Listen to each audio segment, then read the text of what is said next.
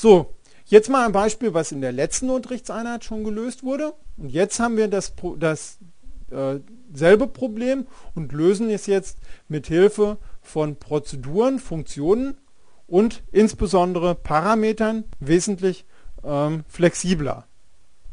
Beispiel. Ich habe hier das Rechteckprogramm. Ich führe es jetzt mal aus.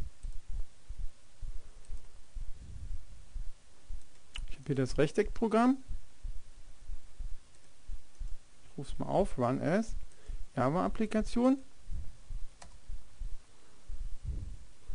Was wird hier gefordert?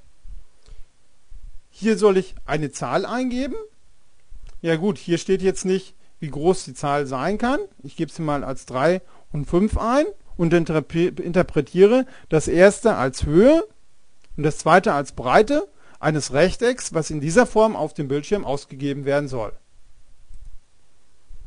Ich gebe hier die Höhe ein, das ist beispielsweise 5 ich gebe die Breite ein, das ist 8 und ich wird hier entsprechend dieses Rechteck auf dem Bildschirm gezeichnet.